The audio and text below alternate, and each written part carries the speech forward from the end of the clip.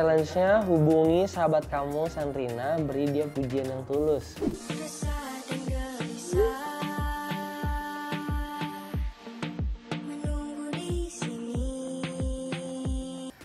Oke guys, di sini kita untuk asik-asik aja ya. Sandrina Michelle atau Saskia Chadwick. Em, gue pilih Sandrina Michelle karena Sandrina Michelle orangnya bobrok. Jadi sefrekuensi.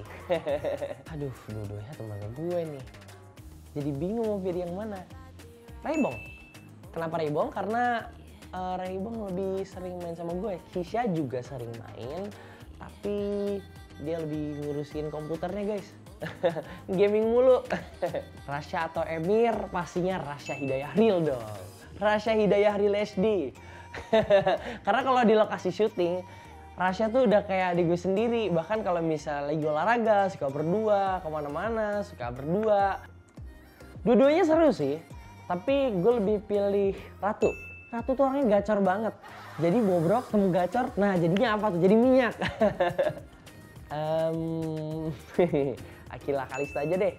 Soalnya kalau sama Akila tuh lebih sering main.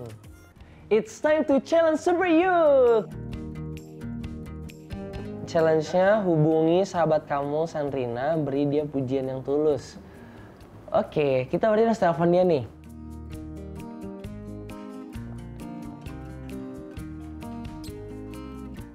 Nomornya nggak aktif sih? Pujian aku buat Sandrina, dia tuh kalau acting maksimal banget, natural. Aku seneng banget jadi lawan mainnya dia. Karena setiap frame itu pasti dia ngejalaninnya seperti kehidupan-kehidupan biasanya aja. Jadi memang nggak ada kayak kita lagi ada di set dan kita lagi syuting. Kayak gitu sih yang paling aku suka dari Sandrina.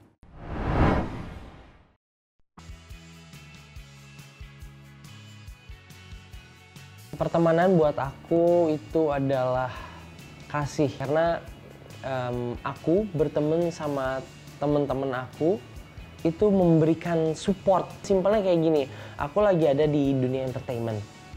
Ketika teman-teman aku butuh promo, aku bisa ngebantuin mereka untuk nge-share karya-karya mereka biar dilihat sama orang. Contohnya kayak gitu.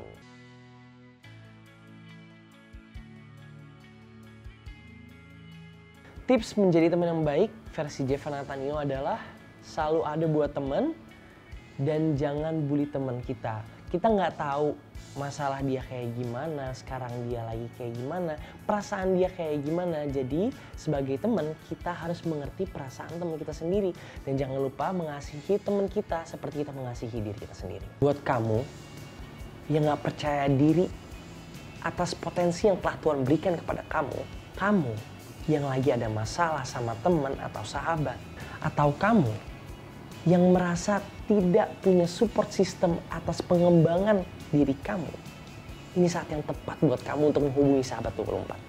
Kenapa? Karena sahabat 24 secara khusus mau berdoa untuk kamu. So jangan ragu dan hubungi kontak nomornya sekarang.